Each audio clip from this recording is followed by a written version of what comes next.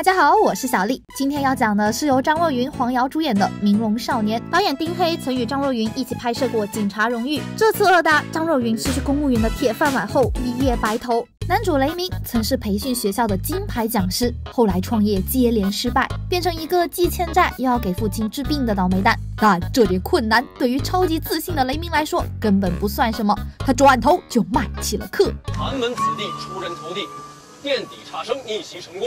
所有的秘密就在这堂精品有声课，人来挂在得道上，加了会员还要卖七九八。今天算是我个人进社区发福利，一口价三八八，还送超市优惠券。感兴趣的家长可以先加一下我的微信。当然，雷鸣可不能空卖课。收到楼校长的邀约，他要在明龙建个实验班，选五个学生，带他们逆袭考上最牛逼的清北大学。女主桑夏，明龙可有可无的心理老师，作为雷鸣的代教，本着负责的原则，她跟雷鸣说了一路她的问题，结果当事人一句没听。桑夏跟好闺蜜吐槽雷鸣的奇葩行为，苏老师，你真的没必要每天变着法子来给我送水果。我虽然目前是单身，但是完全没有谈恋爱的时间和想法。你没事吧？听了她吐槽的好闺蜜提醒她，机会来了呀！老师是轻微的反社会人格，学生是问题学生。他搞他的十一班，我搞我的心理特训营啊！于是桑夏与雷鸣一拍即合，开始为十一班招贤纳士。李然自幼丧父，被母亲抛弃，从小与奶奶相依为命，靠着奶奶给别人做佣人的工资生活。李然也想补贴一下家用，在学校干起了自己的手机事业。他立志做一名创业青年。但业还没有创起来，店就被挖掘机创了，中介还卷钱跑路。在他眼里，高考不是他的出路。出生的这场考试，他就已经输得彻彻底底了。但雷鸣看出了他的物理天赋，向他发出十一班的邀请。李然，你出生那次考试，你是输了，但不是你的错。你可以把高考当成一次补考，我不会让你输的。虽然雷鸣说的挺动人的。但我觉得李然加入十一班的真正原因，应该是十一班学费全免，还有免费校服。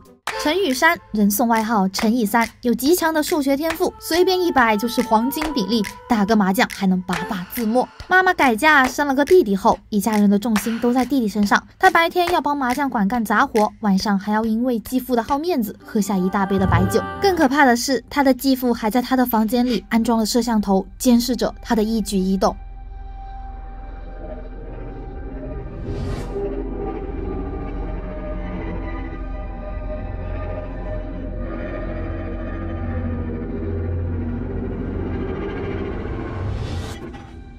他本想靠找对象来逃离这个窒息的家庭，但雷鸣告诉他，这样做只会是二次循环，而不是重新开始。那些妄想着通过一枚结婚戒指就能实现自救的人，都是智商堪忧。他们忘了，这枚戒指呢，同样也可以强迫他们为了伴侣打，为了子女打，累死累活还没有工资，可不敢胡说啊。江晴朗，一个梦想成为 rapper 的阳光开朗大男孩，父母都是名校毕业，对他寄予厚望，但总是因为教育理念不同发生争吵。为了家庭和睦，他靠作弊维持成绩，但总是作弊解决不了根本问题。他想看看黎明吹这么大的牛，到底是不是真的能让他逆袭，于是他加入了十一班。宇阳从小因为普通话不标准，还有点口吃，被班里同学嘲笑。他脱衣服的照片被发到了学校表白墙上，甚至还有好心同学表面上帮他，下一秒就脱他裤子。被校园霸凌的他，还要面对强势的母亲，在饭堂大喊他的名字，不顾他人眼色让他插队。在人来人往的员工宿舍，毫不顾及宇阳的自尊心，自顾自的给他擦身子。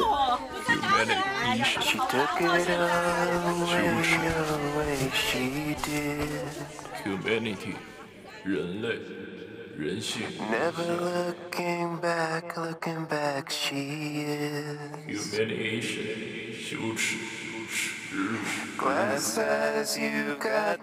这种用力过猛的爱，让宇阳变得不愿意说出自己的想法。但好在加入十一班是他自愿的选择。边小小，讨好型人格，寄人篱下的他讨好长辈，讨好朋友，却得不到任何人的关心。拍摄雷鸣的视频得到了很多人的关注，他决定加入十一班，借着雷鸣的流量让他自己火起来。还有一个不是十一班的老熟人沈耀。弹诵黑化版。一开始我以为他是成绩很好的乖乖学霸，而且我还挺磕他和李然的，毕竟穷小子和富少爷住在一起，还同一天生日。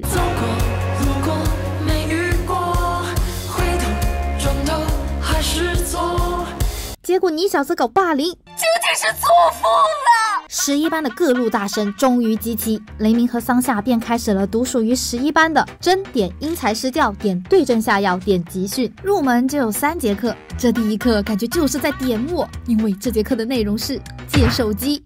雷鸣把五个人的手机全都没收后，音量调到最高，让他们只能听不能看。当然想看也可以，手机得投屏。边小小没忍住看了手机，一打开就是扑面而来的对同班同学的恶评，直接当场社死。第二课带他们看监控，让他们看看好学生如何学习。第三课则是让他们互相帮对方打饭，帮助他们更加了解彼此，成为真正的朋友。虽然这几节入门课是奇葩了点，但到了学真知识的理论课，各科老师可谓是卧虎藏龙。语文老师谈小舟，不谈成绩，只谈风月。现场教学如何用诗歌表白。天涯万一见温柔，寿应因此寿，休亦为郎休。数学老师胡冲偶数独围，看到班里只有五个人，扭头就走。哎六六是六是偶数啊，偶数。他还是一个行走的中华题库，对所有的数学真题都了如指掌，就连某某搜题都没有他快。英语老师雷鸣一上课就开启了 KTV 模式，还有宝典在手。他把最常考的英语词组搭配和易混小词汇编成了一首首英文歌，边唱边将英语知识灌输到吴小芝脑中。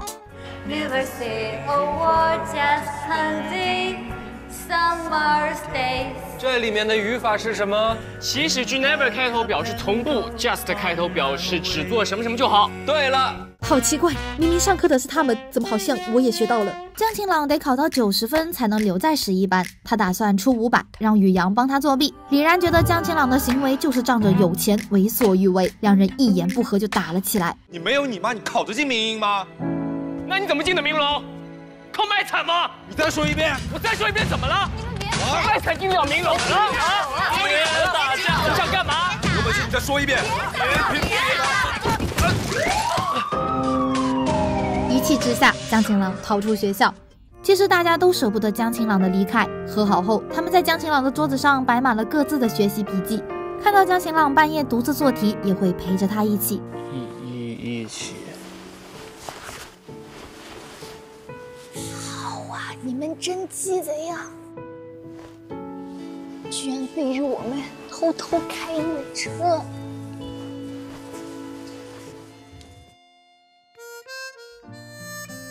手痒，刷几套题。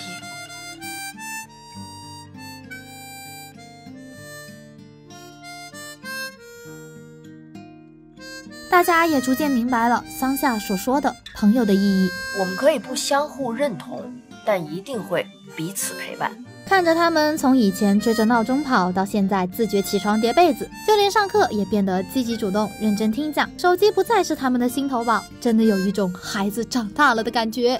前面我们说过，宇阳被偷拍，偷拍他的人就是沈耀。李然查到照片 IP 后，要沈耀删掉帖子，否则就公开是他拍的。当晚，沈耀就破了李然的电脑。这还不够，沈耀还让李然的奶奶亲自送饭到学校。李然提出让他来送，沈耀答应了。但李然不仅得送到班门口，还要等他吃完后把碗送回去。宇阳得知是李然帮他删了照片，跟小伙伴们一起弄了个外卖小分队，为李然出气。本校 VIP 级装叉饭，沈耀沈大公子，您的尊享燕窝套餐已由十一班外卖小队为您送达。沈耀，你上下学车接车送，吃个补品还让同学送班门口，怎么着？想让妈逼啊？要不要我喂你？沈公子平时喝汤都累，这样，我帮帮他，我把他炫了。好。沈公子，我们走了。沈公子，沈公子把汤喝了再走啊。痛い痛いよ。 絶対殺してやる。